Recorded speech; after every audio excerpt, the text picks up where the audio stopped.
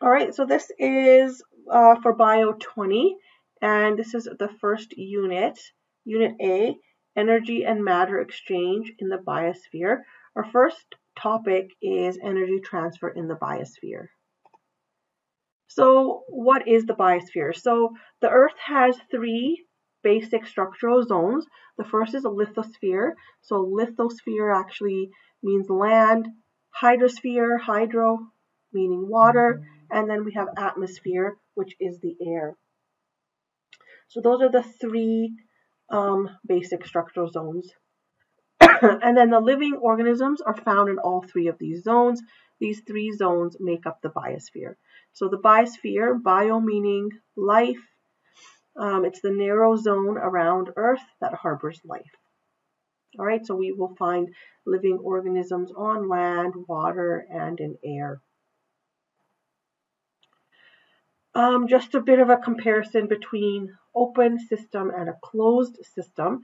When we talk about an open system, that means we're allowing um, energy and matter is able to cross the system's boundary. Basically, it can enter and leave. When we're talking about a closed system, only energy is able to cross a boundary, not matter. So when we're talking about matter, and we're talking about Earth, Earth is a closed system because all the matter that's here stays here on Earth. When we talk about energy, Earth is an open system because the sun's energy is able to enter our atmosphere and some of it gets reflected back into space and some of that gets absorbed by the atmosphere. Um, we'll talk a little bit more about this, but um, remaining energy goes to Earth's uh, liquid and solid surfaces. Some gets reflected, some gets absorbed, but eventually um, all of the energy is radiated back into space as heat. so our first topic within uh, chapter 1 is 1.1, which is how energy enters the biosphere. So the need for energy, all organisms need energy to stay alive. Um, what does it mean to be alive? To grow, um, maintain body processes, be able to reproduce, be able to move. So when we talk about cellular respiration, that's how cells can break down glucose into carbon dioxide and water, and then they release energy. so there's the um, formula down here for cellular respiration. So it is uh, the sugars plus oxygen, carbon dioxide, water, and energy is released. Um, there are a small number of organisms that live in environments without oxygen. And the energy releasing process then is called fermentation. Um, they use fermentation, not cellular respiration. But again, those are things we'll talk a bit in a bit more detail later. So how does energy get stored um, in energy-rich molecules? So the process is photosynthesis. Um, plants, algae, there's some bacteria that use light energy from the sun to chemically convert carbon into carbohydrates, which are our sugars and starches. So carbon dioxide plus water plus that light energy produces the carbohydrates, sugars or starches, and um, oxygen is released as well. All right, so it's the producers. These are those photosynthetic organisms that capture the energy from the sunlight that energy is converted to glucose and other energy rich, rich compounds like starches, proteins, and fats. These compounds will then provide energy for the producers and for consumers of the producers. So any like herbivores that will eat the producers. Um, notice that photosynthesis and cellular respiration are almost the reverse of each other. So if you look at the um, formula here the equation here for photosynthesis and then you look at it for cellular respiration, it's almost um, the opposite, almost the exact opposite. So here we have carbs and oxygen as our reactants. And in photosynthesis, carbs and the oxygen are the uh, products. Um, the reactants in photosynthesis were carbon dioxide, water, and light energy. and here they are the products, carbon dioxide, water, and some sort of energy.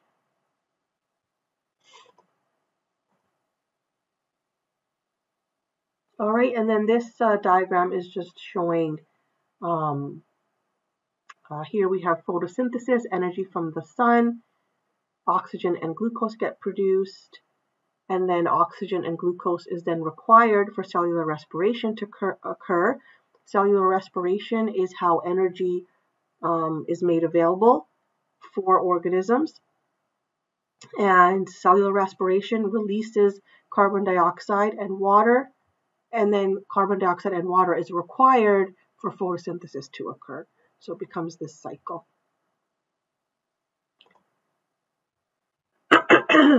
uh, just a quick definition of what a producer is. So a producer is also called an autotroph, meaning it makes its own food. And a consumer is also called a heterotroph. Um, it's an organism that has to eat producers or other consumers to survive. All right, make sure you do know those two terms, autotroph and heterotroph.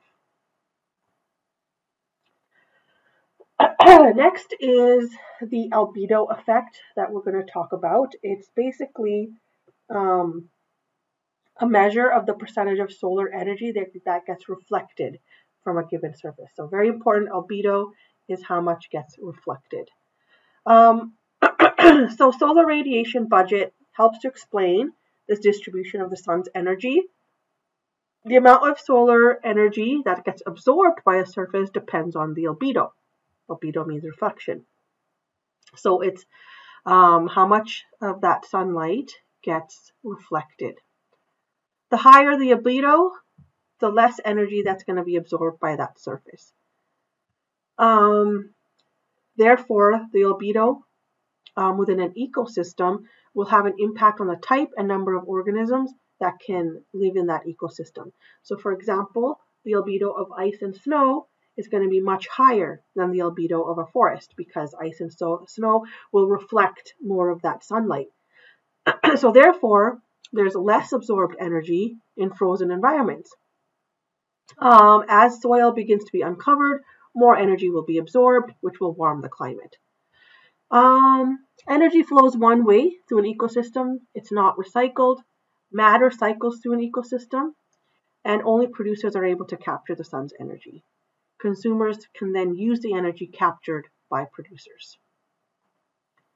So this diagram is like a summary of what can happen from the incoming radiant energy from the sun.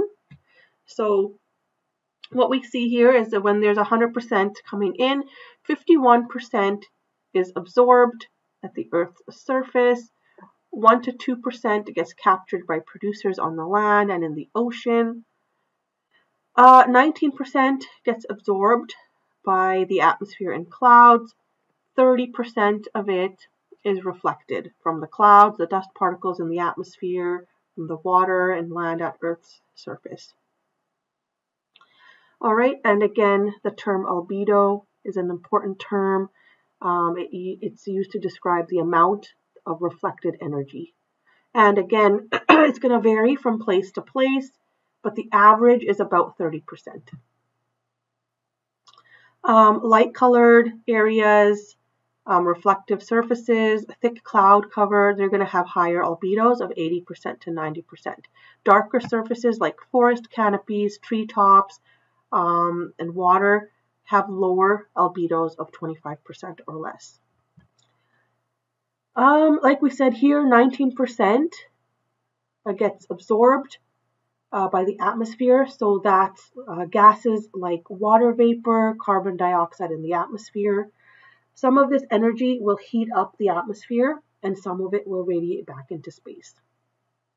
Um, here, the 51% um, that reaches Earth's surface, that energy that gets absorbed by land and oceans will warm the planet's surface.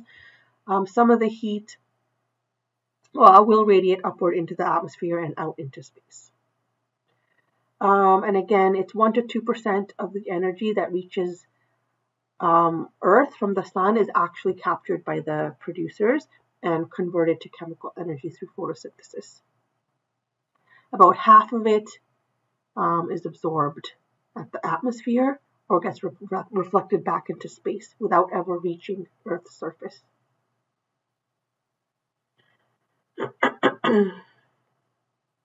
um, so we've talked about photosynthesis, which was the use of light energy. Um, chemosynthesis is a different process that occurs in the ocean, deep in the ocean where there's no sunlight. And what happens here is, is there's a use of chemical compounds as energy rather than sunlight to produce organic matter. So what these organisms do is they'll split hydrogen sulfide molecules from deep sea vents. And then sulfuric acid is produced instead of oxygen as a byproduct of this process.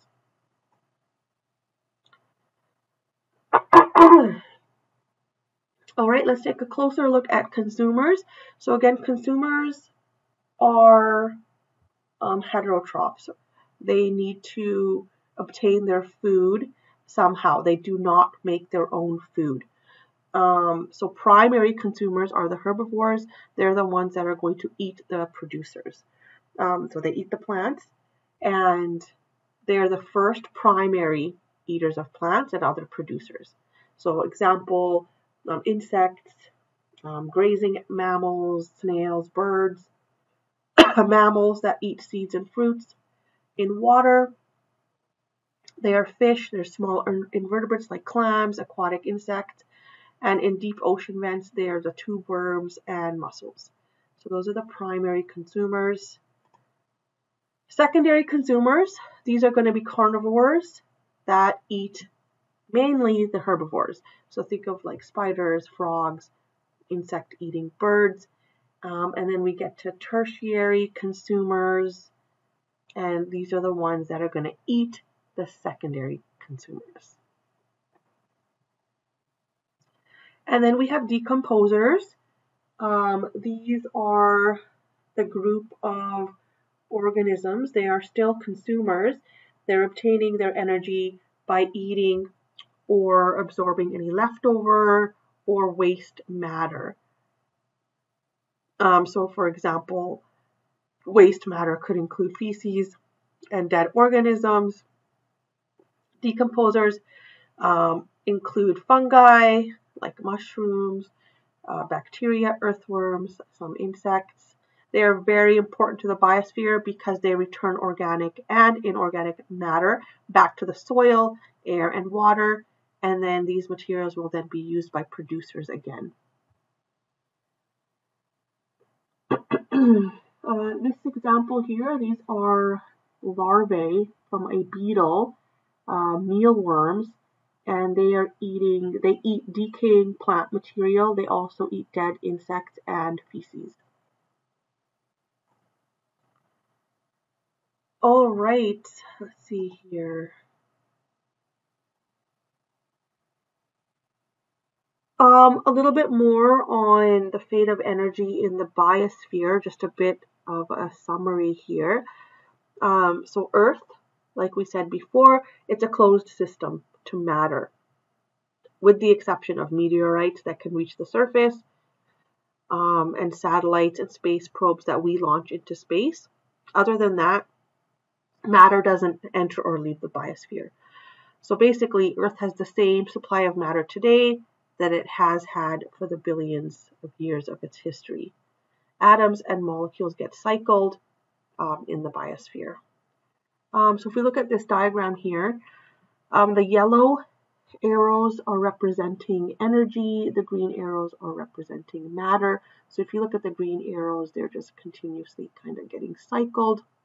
So matter cycles within the biosphere, but energy can pass through it. So basically, as chemical energy is transferred from producers to consumers to decomposers, all of that energy eventually dissipates into the environment as heat. So you can see here, heat is coming off, heat here as well, heat um, there as well. so the first law of thermodynamics states that energy cannot be created or destroyed, it's just converted from one form to another or gets transferred from one object to another. So for example, radiant energy from the sun gets converted into chemical energy um, through photosynthesis, and then that kinetic, sorry, that chemical energy can then be converted into, for example, motion, which is kinetic energy and can be um, converted into heat as well. The second law of thermodynamics states that no process of energy conversion is ever 100% efficient. Never. Because with each conversion of energy, there's always um, some energy that, that's get, that gets lost as heat, unusable heat. So with every conversion of energy, there is less um, energy available to do useful work. And again, we saw that heat coming off um, here and here in the diagram.